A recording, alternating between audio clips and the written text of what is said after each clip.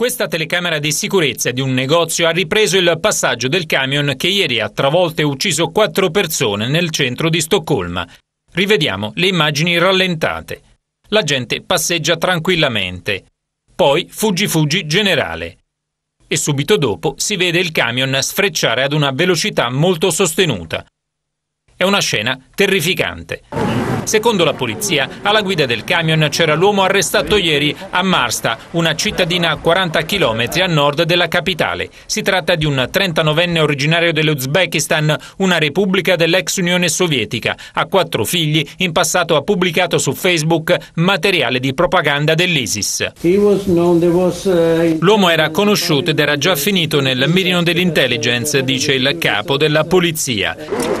Nel pomeriggio altre tre persone, due uomini e una donna, sono stati arrestati in un blitz antiterrorismo nel sud di Stoccolma. Secondo i media sarebbero collegati all'Uzbeko. Sempre secondo i media, a bordo del camion killer è stata trovata una borsa con un ordigno rudimentale inesploso. Un dettaglio investigativo che, se confermato, preoccuperebbe molto molto di più. Intanto gli svedesi continuano a portare fiori sul luogo dell'attentato. Anche una commossa principessa Vittoria deposita un mazzo di rose rosse in ricordo delle vittime.